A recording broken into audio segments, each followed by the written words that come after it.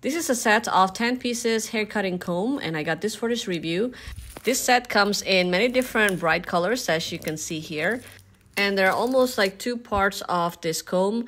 The top part is the regular fine tooth styling comb and the bottom part is almost like a handle. It's pretty wide so it's very comfortable and stable to hold. The length of the comb is about 8 inches in length and it's about one and a half inches in width. This comb is made out of plastic, but they're very sturdy, great quality.